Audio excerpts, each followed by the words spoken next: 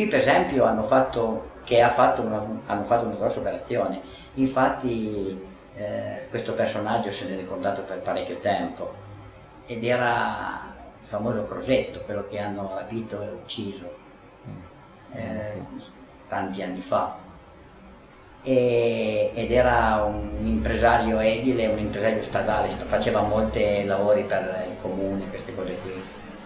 E, e, diciamo che durante la guerra faceva già il commerciante di legnami, di tutte quelle cose lì e ha, ha fatto cosa che non quadrava ed è, è stato per essere fucilato dai, eh, dai fascisti, dai tedeschi, non dai fascisti, dai tedeschi.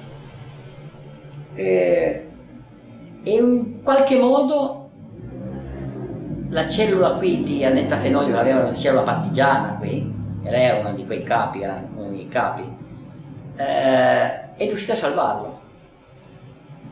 È riuscita a salvarlo in non so in che modo, forse travestiti da fascisti, l'hanno preso loro, dovevano fucilare loro, non so, e l'hanno nascosto in un infernotto, c'erano le cantine, poi c'erano gli infernotti, no? una volta, c'erano ancora adesso in centro, ah, in, piazza, in piazza Vittorio.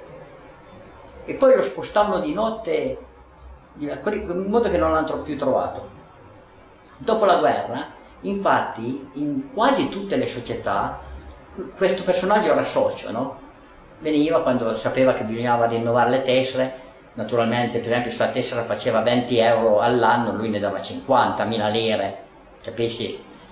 E poi se si aveva bisogno di qualche cosa, non so, per esempio eh, qui ai giochi da boccio tutti gli anni bisognava riportare della sabbia, o della ghiaietta, quel, quella è una ghiaietta che si metteva nei quadrati dove c'era praticamente dove veniva fatto il gioco, eh, bisognava mettere della ghiaietta, era una polvere di marmo, con fine fine. E allora loro ce l'avevano, la faceva portare, naturalmente eh, chiedevi quanto faceva, non faceva niente, a telefonate mi, mi diceva, io allora il presidente mi diceva telefona a, al mio geometra che ti mandi giù un, una gira di, di, di, di sabbia o che. Allora il geometra, dato che non è che... Eh, ma possibile che voi avete sempre bisogno di qualche cosa qui, poi tocca a me giustificare, tocca a lei, eh, se, se, se il signor Crosetto eh, me l'ha detto, eh? Sì, sì, ah, me l'ha detto anche a me, allora poi glielo porto. E magari l'indomani, l'indomani ancora arrivava già, capisci? E, lui era fatto così, era fatto, poi c'era bisogno di qualche cosa, lui era sempre disponibile.